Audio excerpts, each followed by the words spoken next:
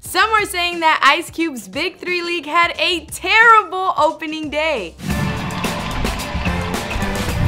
I'm Denise Jones. Make sure to subscribe to The Fumble for all the latest news on the Big Three. Ice Cube's Big Three tournament had everyone on board the first day it was announced, but it looks like the first game wasn't what everyone expected it to be. Rumor has it that the league or network that it's going to be airing on is opting to show Sunday's game on tape delay Monday night. Many are speculating this is due to lack of attendees, but I think otherwise, man. For starters, Cube's opening night couldn't have been all that bad with the first two games both decided on winning shots in front of over 15 thousand fans. Let me know in the comments below if you expect the league to be genuinely good or, or not too good. To be fair, tape delay is pretty common um, in fringe sports programming. Just ask any fans of darts, lumberjack competitions, or professional water skiing. At the tip, Chauncey Billups withdrew, evidently to pursue a role in the Cleveland Cavaliers' vacant front office. But Allen Iverson was still in full attendance,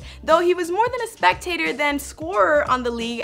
Iverson's team won the third game, though as player coach, he only put himself in for 9 minutes. At 42 years old, the former NBA MVP said he doesn't expect to be playing heavy minutes in the 10 game season. I think the best part about this game here tonight and all the other games, it was exciting all throughout, Iverson said. It didn't need Allen Iverson, the player, per se.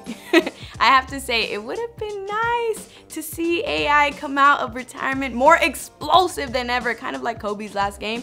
But being that he's a guy that doesn't BS, I'll take his word for it. The quality of play was spotty as players had to, you know, shake off some of the years of rust they've had, but it was certainly competitive. Though he may be the biggest name in the league, his role on the court will be minor. You can't blame him either, given the risk of injury for players way past their prime. Jason Williams, the flashy point guard nicknamed White Chocolate, went down with a right leg injury late in the opener, and Corey Maggette had to come out of the second game. Both are expected to be okay. LL Cool J and NBA All-Star James Harden were in the crowd for the first two games before Iverson, the main attraction among players, took the court following a concert. Word around town is Paul Pierce and Kevin Garnett might want in on this. I have to ask, could this become that league for all retired players? Let me know in the comments below. For all the best game and sports news highlights, make sure to hit subscribe. For The Fumble, I'm Denise Jones.